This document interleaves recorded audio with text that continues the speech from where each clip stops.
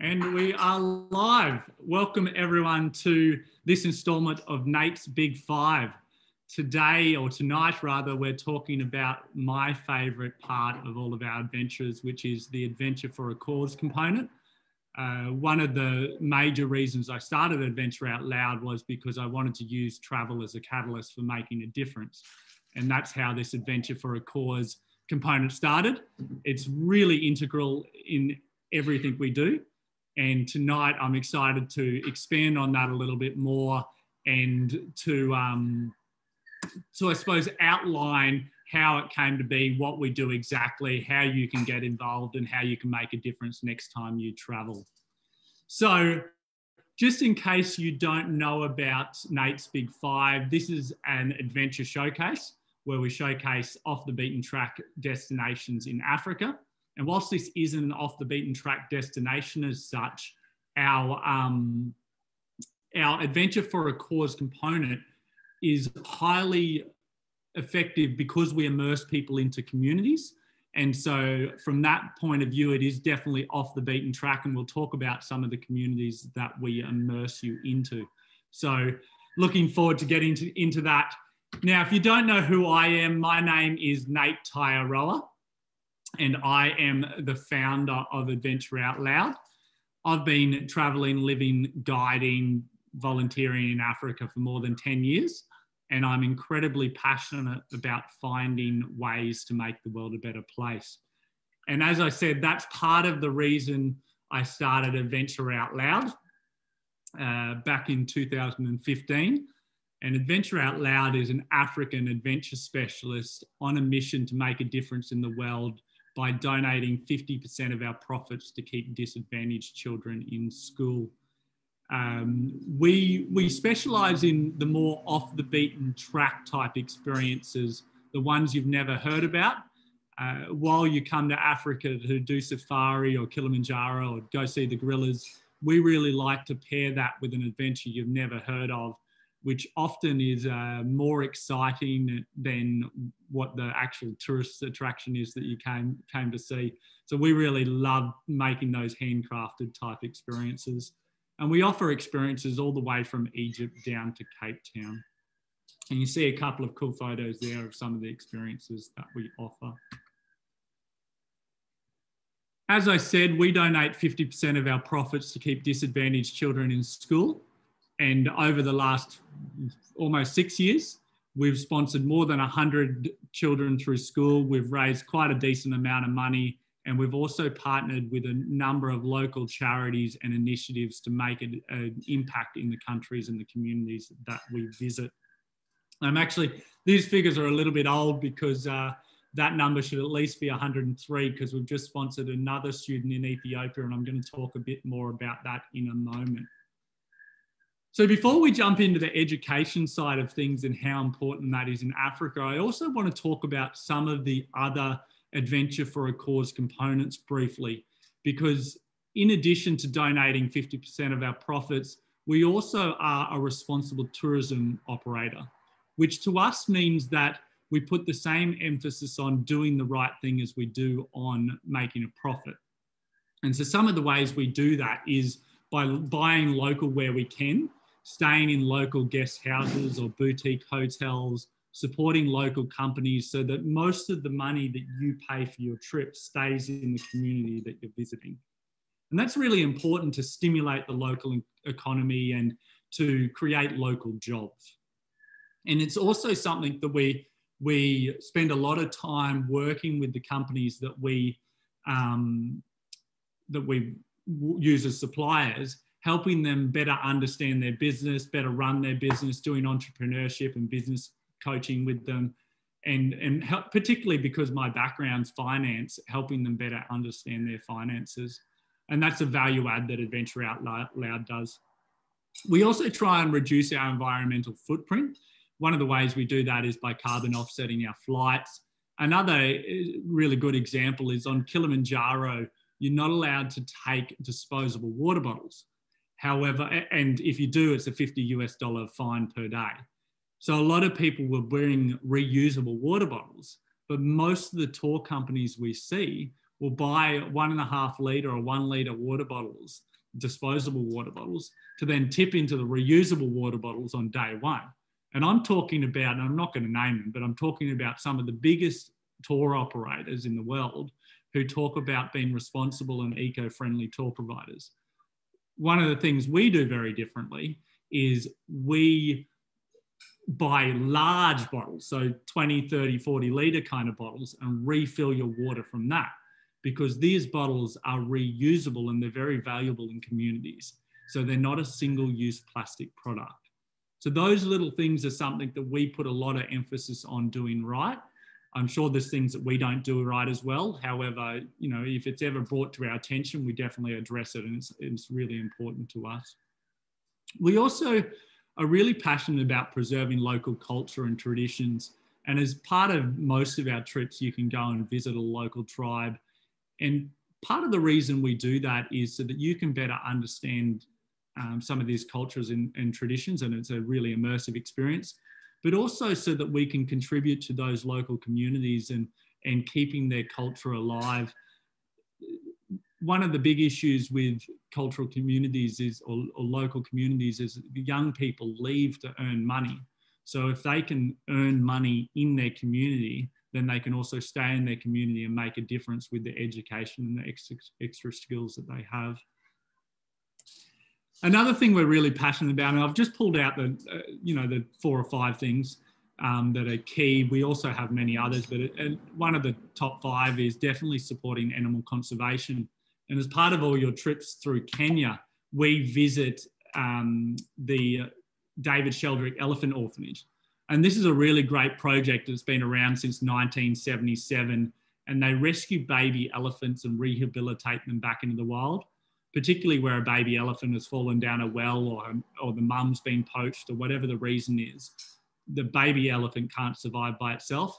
So David Sheldrick come out, they rescue that elephant, they rehab them over the next you know half a dozen years and then they put them back into the wild they also do really great work with educating children in kenya about poaching and why it's important not to poach and also educating tourists not to buy ivory and, and those types of things another one which i really love is the uh, nairobi Giraffe centre this is a really special place to visit and whilst i'm not uh, a big fan of con- uh, coming into contact with animals in this kind of manner, it, it, does serve a purpose in the fact that the funds raised by this um, centre go towards breeding endangered Rothschild giraffes and then releasing them into the wild. So whilst there's half a dozen giraffes that are in this more tourist centre that uh, generate income, that income is used to breed endangered and, and endangered species and release them into the wild. And over the last, you know, 40 odd years, they've done an incredible job. So they've, they've been one of the major drivers with making sure that this type of giraffe doesn't become extinct. And that's what, one of the reasons why we support them. And I can see Val smiling. I've got her on mute, but I can see Val smiling because she's been over there and experienced this. And it's, it's a pretty special experience. Now, on the education front, and the reason why we donate 50% of our profits to keep disadvantaged children in school is because we believe it's, it's one of the best ways to fight poverty. And there's 111 million children or African children that aren't in school right now. And we're not okay with that. And we, we figured we'd do something about it by one, putting our money where our mouth is and donating 50% of our profits, but two, making it possible for our adventurers to personally sponsor and contribute to keeping children in school. And many of the people that travel with us actually personally sponsor, and we're going to hear from a couple of them in a little bit. Education, I think, is such a critical issue in Africa because 60% of Africans are under 25, which means that they should be in school or university. They should be getting an education. And many of them aren't. And whilst things have definitely gotten better over the last couple of years, there is still a lot of work to do. And one of the biggest barriers is um, the cost of education. So I'll use Kenya as an example because that's where we do a lot of our work. In Kenya, a, pri- a, primary school education costs you about 50 US dollars just for a really basic school. Most families can scrounge $50 and keep their kids in primary schools. However, if they're late with their payments, their kid will be kicked out of school for a period and will lose that period of their education. Will will probably not be able to make that up. They'll just be expected to come back when the money's paid and slot right back in. When you get to high school, the education costs about 750 US dollars a year. And for most people living below, or for everyone living below the poverty line, that's mathematically impossible If you live on $2 a day, you cannot afford to send one of your kids to school for $750 a year. And so that's one of the biggest barriers. The other barriers are um, the quality of education. It's not unheard of, or it's very common to have classes of 50, 100, even up to 200 students in one classroom with one teacher. And when that teacher only has the resources of a blackboard and some chalk, it's quite hard to teach 200 students. So these barriers all add up to being part of the issue with students not going to school. The other issue, obviously, is in, in very remote areas, schools aren't available. So kids often have to walk sometimes 10, 20 kilometres to get to school. If you've got to walk 10 or 20 kilometres to get to school and then to get home, you're going to spend a lot of hours just walking to school every day. And that adds a big barrier for students that could also be at home contributing to um, looking after the, the herd or farming vegetables or whatever it is that their family does. So there's some of the barriers as to why children don't go into school. And I want to talk about more specifically our major charity partner over the last five or six years, which is the Mirror of Hope. And I suppose put those barriers or, or those statistics into reality or, or explain how it works in Kenya. So, in Kenya, for example, approximately 90% of students will complete primary school, which is pretty good. However, only about 50 of those percent will graduate from secondary school and only about 4% will graduate from university. So you can see how things very quickly drop off. And I dare say a very large percent of the ones that do graduate secondary school and university are sponsored. So it is a really important um, component of keeping kids in school. If you don't know about the Mirror of Hope, they're based in Nairobi, Kenya, and they're empowering vulnerable women and children living in Kenya's largest urban slum through education and entrepreneurship. Um, we particularly help them with their education piece. And what we do is we find sponsors for students going to secondary school. If you've never heard of Kibera slum, picture the suburb that you live in and then put a million people into it. So in a two and a half square kilometre area, a million people live. And all of these people are living below the poverty line. And that's why the work that Mirror of Hope done is, do is so critical. I was really hoping tonight to have Jacob on the line, who is the, the gentleman in this photo here. Jacob is our first student to graduate university, and he was supposed to be on to tell his story and talk about how much education means to him. However, he's had to travel back to his village, and as such, he doesn't have Wi Fi. So, not, nothing major. He just had to go back, and um, so he can't join us tonight. So, I'll quickly tell Jacob's story, and that's effectively that Jacob is an orphan. And whilst this is a picture of him and who he calls his mum now, it's actually his auntie. Both of his parents died when he was um, a young boy. And he has two younger siblings. And Jacob did very well in primary school.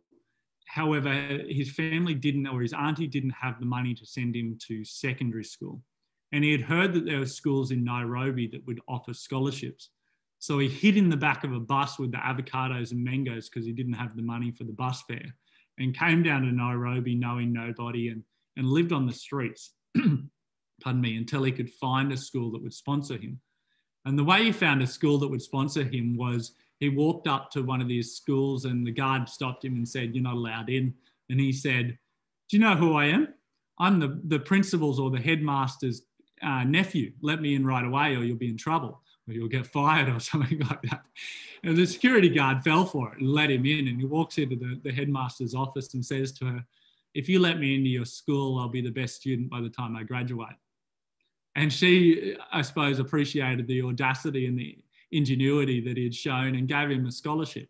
And at the end of his four years of secondary school, he was the top ranked student in that school.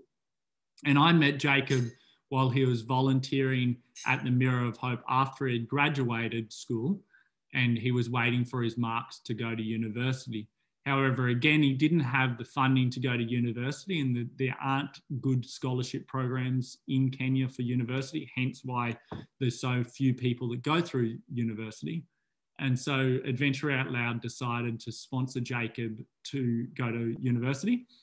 And on the back of that, he's now graduated, he has a full time job, he started a business which doubles his income. He's put both of his siblings through a like a TAFE course so that they have employment. He's plastered his mum's house and put electricity and a TV in there so she can be a little bit more comfortable. She now has regular food. Um, and so life has changed a lot for Jacob, and he only graduated in the last couple of years. So, this is the type of impact that education can have on one person's life. And one of the reasons why we started Adventure Out Loud was because I think it's really hard to find a way to make a difference when you live in a place like Australia. Like all the world's problems seem too big and you're not quite sure where to start. And so we thought by having people sponsor individual students through school, it was a place to start that you could afford and that was easy for you to do. And that's, I suppose, the message with sponsoring students is you're not going to change the world, but you definitely can empower this student with the skills that they can that they need to get a good job and change their own circumstances. And often what happens is that student will then change the circumstances for their family and their wider community. And over time, with enough people graduating from school, you'll find that um, more people or more more educated people will mean they can vote better they will be able to hold their politicians accountable and they'll be able to get rid of some of the wider issues in Africa, which predominantly is corruption. So that's a little bit about Mirror of Hope. And what I wanted to quickly talk about is some of the feedback we've had because, as I said, in addition to us donating 50% of our profits, we also make it possible for you to sponsor. And you don't have to visit to sponsor. If you want to sponsor through us, please reach out. That is also possible. So these couple of people couldn't be with us tonight, but I wanted to share their, their testimony. And the first one is the lady Jane here in the picture. And it was a really special moment when Jane met Brian back in 2020. And what Jane had to say was, meeting my sponsor and his family was a very emotional experience for me. I discovered that I can change the world one child at a time through education. I think that's really well said. The other uh, testimony I wanted to share is from Kelly, who came on a trip in 2017. And she said, Going on a holiday that makes a difference is something truly special. To meet the young person that I sponsored, to visit their home, and to create some amazing lifelong memories with them is just another level. And what I want to quickly do is I want to unmute Val and bring Val into the conversation because Val has actually been over to East Africa. She came, um, she came last year actually in 2020. And Val, can you just quickly explain what it was like to meet your sponsor student Cyril and that whole experience going to the slum? How, how did that make you feel? Oh, that was pretty amazing. So it, it's really hard to describe the emotions that came like the first time I met Cyril. So I have been um, talking to him through letters exchange for the last three years until I met him for real, and it all just became, yeah, became real, and he became part of my family in a way. Um, meeting him and um, his family, his brother and his mom just makes the whole experience like much more real in my daily life, um, especially being someone that most unlikely won't have children on my own. Um, knowing that I can make a difference and seeing the difference it makes um, and knowing where they live and everything is just unbelievable. Like it was the best experience I've had, and I had so much fun, um, you know, talking to him and really discovering the real person he is and the amazing boy he is. He's such a big boy. and it was just, yeah, I had so much fun with him, like just dancing and talking and chatting and his dreams and and his mom was so so welcoming and so happy to to know that um, his son will be like her son will be all right uh, and will have a chance um, to, to have a good life hopefully in the future it's just unbelievable like it's, it's really hard to describe the emotions that came the first time i saw him i was like what, what? like really really cool well, with, with you, Val, we actually had Cyril come out and meet you at the airport, yeah, right? And, and which I was not expecting at all. So I was just like, whoa. I, I really didn't know he would be there. And I was just so amazing, so surprised. And yeah, he was happy to see me straight away and just straight away had a like hugged him and was like, oh, you're my family here. Like, you, yeah, you, you're my boy. and I think um, one of the things you said really was really interesting in there is you talked about how happy his family was to meet you, and that's something that's a, a very common piece of feedback we get from the families is we, we cop a little bit of criticism by taking tourists into a vulnerable area like a slum. However, we're not doing it from a tourism point of view. We're doing it from a cultural immersion point of view. And when you come in, you actually go in for a full day at least and on the way, you walk around and you buy ingredients, and those ingredients are taken to your sponsor students' um, home, and you learn to cook a traditional Kenyan feast with your sponsor student. So you're, and, and this is over a charcoal stove. So this is not happening quickly. This is a good two or three hour experience. Oh yeah, definitely. like it takes time to cook together, but it's so much fun actually.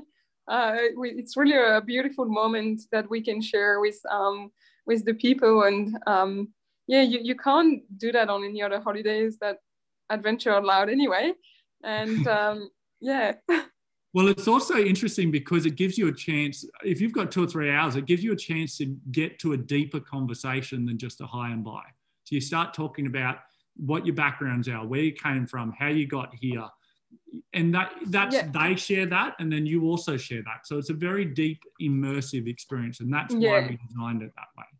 Yeah, definitely. And I was fortunate enough to spend another week um, at Mirror of Hope. So I went back a, a, couple of times in the slum and met again with Cyril's mom and just did a surprise. And she was so happy. And just, and even for me, it was so emotional. And I think even my friends were saying on the photos we've seen of you, I've never seen you so happy ever. Like, everyone was like, you're such, yeah, you look so happy just being there and meeting these amazing people that all have amazing stories and and they are so humble like i was so amazed how humble they are and how smiley they are all the time.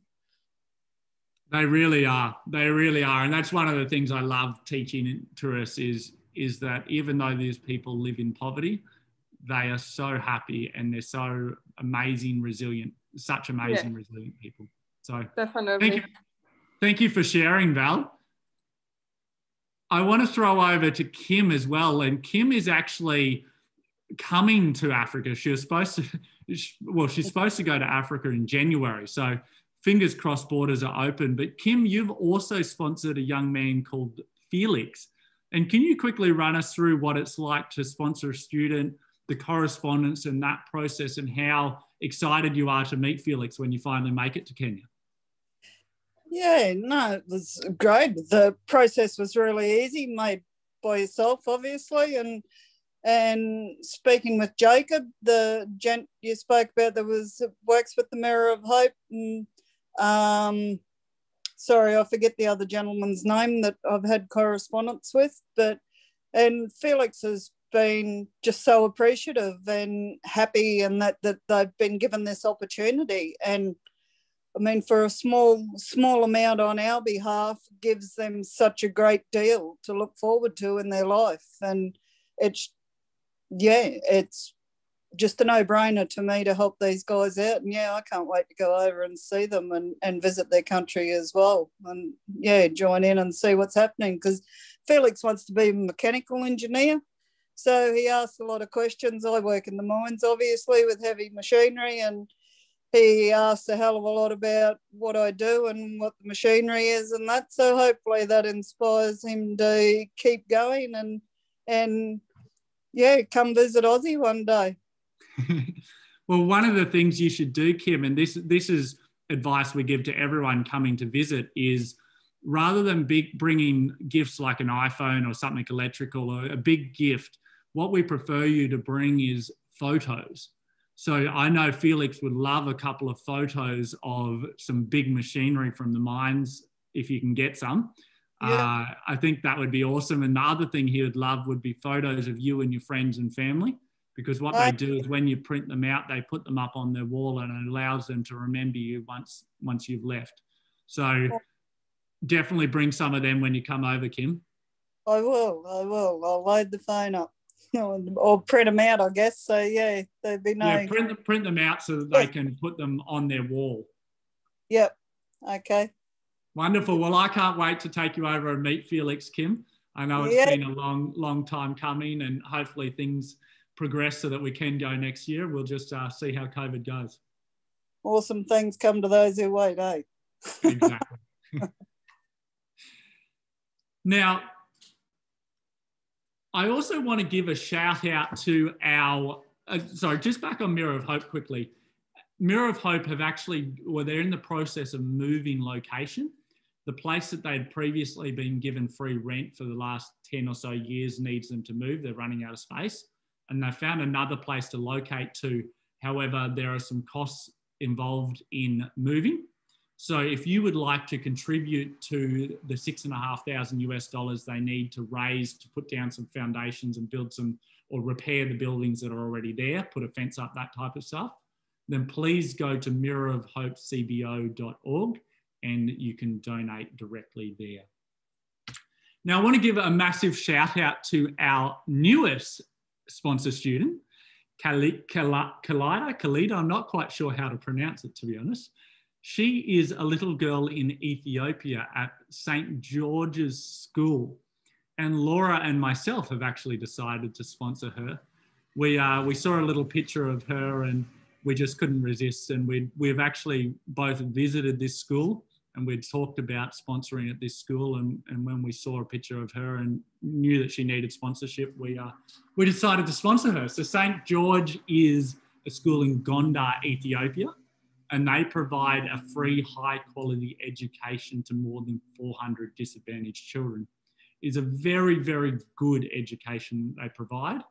And I've been there to see it. The money that you donate to St. George's goes to a really good cause. They also donate 100%. So 100% of the sponsorship money you donate goes to putting kids through school. None of it's lost to admin, which is really important. That's the same at the Mirror of Hope as well. And over on the bottom right, you can actually read a little bit about um, Kalida's story. And she effectively, her parents had to go out and work, so she was effectively left at home by herself. And so she really appreciates being in a safe environment like St. George's school, having regular food and teachers that can invest in her development. And it's, it's really going to be amazing to share that experience with her over the next 12 years or whatever it'll be while she goes through school. So I'm looking forward to that. And just on St. George's, we are currently looking for sponsors. There are 19 more students that need sponsors for 2021. So if you would like to sponsor or you know someone, someone that would like to sponsor, please reach out to us. Sponsorship is uh, 60 Australian dollars a month or 30 pounds and you can donate directly through an Australian organisation that I'm involved with called Mwembe, and I'll give you those details online later. Um, and that makes it really easy for you to bank transfer so that we don't lose any fees and all of your money can go across to sponsoring that kid through school. Now, that's a, that's a bit of a highlight of what the Adventure for a Cause model is and how important it is to Adventure Out Loud. Just a little story around how we got to, to deciding to donate 50% of our profits to charity is I kept talking about how we're a social enterprise, and to us, that meant um, putting the same emphasis on doing the right thing as making a profit. And so to me, that basically meant that if we truly believe that and we're going to walk the, the, the walk, then we should be donating the same profit to charity as what we keep ourselves. And so that's where we came up with the 50% going to keep disadvantaged children in school. Now, I want to give you an opportunity to ask any questions. And I know we're live on Facebook and we're also, we have Val and Kim on the line. So if either of them or you on Facebook have any questions, please feel free to ask them now.